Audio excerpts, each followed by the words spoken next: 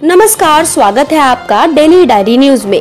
Kolkata night Riders ने Kings eleven Punjab को एक सौ इक्यानवे रनों का लक्ष्य दे दिया है। जी हाँ, किंग्स इलेवन पंजाब को अब जीत के लिए एक रन बनाने होंगे।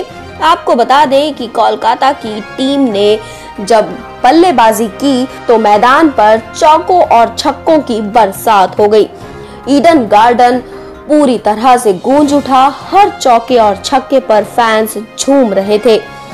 किंग्स इलेवन पंजाब को एक रनों का लक्ष्य देने के बाद अब कोलकाता बॉलिंग करने के लिए मैदान पर उतरी है।